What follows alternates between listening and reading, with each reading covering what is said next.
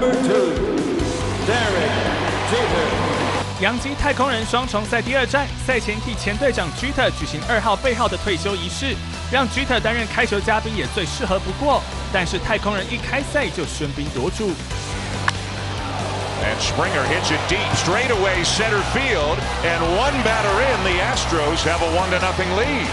开路先锋 Springer 首局手打席全垒打，让田中将大马上就掉分，而且田中还来不及回神，第二棒的 Redick 也补上 back to back 的红不浪，一样是第一局太空人攻占满垒，Bregman 站上打击区。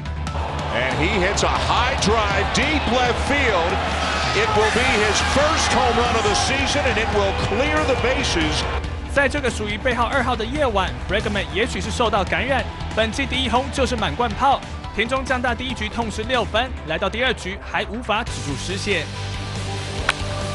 仿佛是一局上的翻版。Springer 又是一上来就敲全垒打，这场比赛 Springer 单场双响炮。田中将大最后只先发了一又三分之二局就被打七支安打，包含四发全垒打，失掉大联盟生涯单场最多的八分，完全被打爆。Strikeout number 10.